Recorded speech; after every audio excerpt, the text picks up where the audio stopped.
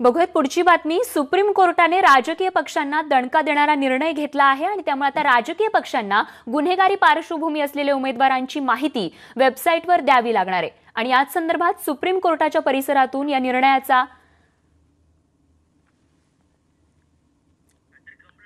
या निर्णयाचा आढावा घेण्यासाठी आमचे प्रतिनिधी प्रशांत लीला रामदास यांनी देखील प्रयत्न केलेला आहे. एक मोठा निर्णय या ठिकाणी सुप्रीम कोर्टानं दिल्याचं बघायला मिळत आहे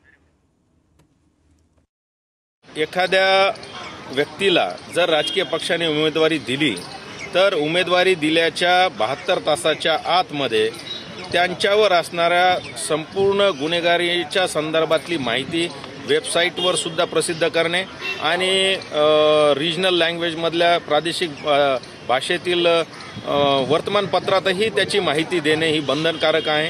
दुसरी महत्त्वाची गोष्ट म्हणजे त्या राजकीय पक्षाने कोणत्या कारणास्तव त्या गुन्हेगारी पार्श्वभूमीच्या उमेदवाराला उमेदवारी दिली त्यासुद्धा संदर्भात स्पष्टीकरण देणं अतिशय महत्त्वाचं आहे. बहात्तर तासाच्या आत जर का तुम्ही ही माहिती जनतेला पुरवली नाही म्हणजे वेबसाईट फेसबुक ट्विटर आणि वर्तमानपत्राद्वारे तर त्याचा कंटेम्प्ट ऑफ कोर्ट होईल आणि लगेच अवमान याचिका दाखल होऊ शकते असं सुद्धा सांगितलेलं आहे. त्यामुळं हा कंप्लायन्स बहात्तर तासाच्या आत करावा. म्हणजे आता कुठलाही स्वेच्छेचा अधिकार राजकीय पक्षांना उरलेला नाही वाढत्या महागाईच्या विरोधात आज देशभरात महिला काँग्रेस कार्यकर्त्यांच्या वतीनं विरोध प्रदर्शन करण्यात येत आहे.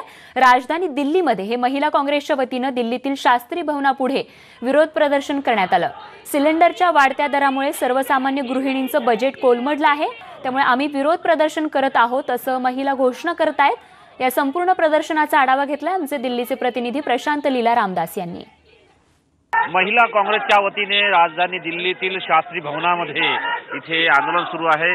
जे सिलेंडरचे दर वाढलेले त्याचा निषेध करण्याकरिता त्याची त्याच्या विरोधामध्ये महिला काँग्रेसच्या वतीने जे निदर्शन सुरू आहे दिल्लीतील शास्त्री भवन आहे शास्त्री भवनामध्ये केंद्रीय पेट्रोलियम मंत्रालय आहे आणि याच केंद्रीय पेट्रोलियम मंत्रालयामध्ये हा सध्या ज्या पद्धतीने दर वाढलेले आहे. जवळपास दिल्लीमध्ये आठशे अठ्ठावन्न रुपये सिलेंडर आहेत. मुंबईमध्ये आठशे एकोणतीस रुपये चेन्नईमध्ये आठशे एक्क्याऐंशी आणि खास करून कोलकात्यामध्ये जर बघितलं तर आठशे शहाण्णव रुपये आहे.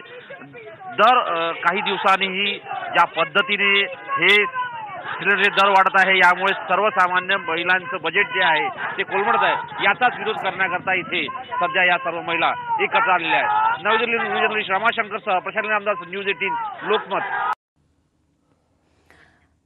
मुंबई ते नाशिक दरम्यान असलेला कसारा घाटातील रस्ता गेल्या जुलै महिन्यापासून वाहतुकीसाठी बंद करण्यात आलाय. तब्बल दीडशे मीटर लांब आणि चाळीस फूट खोल तडा या रस्त्याला गेल्यानं घाट अत्यंत धोकादायक बनलाय. या रस्त्याचं काम दोन हजार वीसच्या फेब्रुवारीपर्यंत सुरू राहणार असल्याचं सांगण्यात आलं होतं. तर घटनास्थळी नेमकी काय परिस्थिती आहे हे पाहण्यासाठी न्यूज एटीन लोकमतची टीम थेट घाटात पोहोचली आणि त्या ठिकाणचा आढावा घेतलाय. दोन हजार एकोणीसच्या जुलै महिन्यामध्ये प्रचंड पाऊस झाल्यामुळे इगतपुरी आणि त्र्यंबकेश्वर तालुका नाशिकमधला अत्यंत बराच मोठा भाग जलमय झाला होता. त्यातल्या त्यात इगतपुरीकडे म्हणजे मुंबई इगतपुरीकडे येणारा कसारा घाट हा जो पूर्ण कसारा घाटाचा पूर्ण भाग आहे प्रचंड खोल असलेली दरी या बाजूला आहे. आणि याच दरीला लगत असलेला हा रस्ता आणि कसारा घाटातनं नाशिककडे जाणारा रस्ता आणि ह्याच ठिकाणी हा खचला आपण बघतोय की काय अवस्था त्यावेळेस झाली ती. जवळपास ऐंशी मीटर लांब आणि पस्तीस मीटर खोल अशा प्रकारचा हा रस्ता पूर्ण खचला खड्डा पडला. जे संरक्षक कठड होते ते सुद्धा दरीत चालले गेले आणि या ठिकाणी काम सुरू झालं. ऑगस्ट दोन हजार एकोणावीस आज आता आपण फेब्रुवारी दोन हजार वीसमध्ये आहोत. अजूनही हे काम पूर्ण झालं नाही. अत्यंत संथ गतीने काम चाललं आहे याच घाटावर अखेर बंद केलेली वाहतूक एका बाजूने सुरू झालेली आहे. दोन टप्प्यांमध्ये या ठिकाणी घाट खसला. अजूनही तीच परिस्थिती आहे. खरोखर राष्ट्रीय महामार्गाच्या माध्यमातून सुरू असलेलं हे काम कधी पूर्ण होणार? याचं कोणतंही उत्तर अजूनपर्यंत अधिकृत यायला तयार नाही आहे परिस्थिती तीच आहे. काम संथ गतीने सुरू आहे आणि हा घाटाचा रस्ता तसाच खसला आहे मध्येच भरावा टाकला जातो.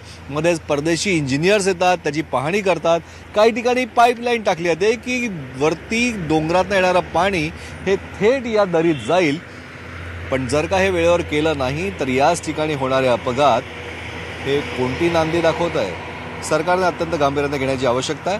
हा घाट कधी खुला होणार याच्याबद्दल कोणतंही ठोस उत्तर गेले सहा महिने आले. कोणतीही सरकारी यंत्रणा द्यायला तयारच नाही आहे व्हिडिओ जर्नालिस्ट विकी कदमचा प्रशांत बाग न्यूज एटीन लोकमत कसारा घाट नाशिक.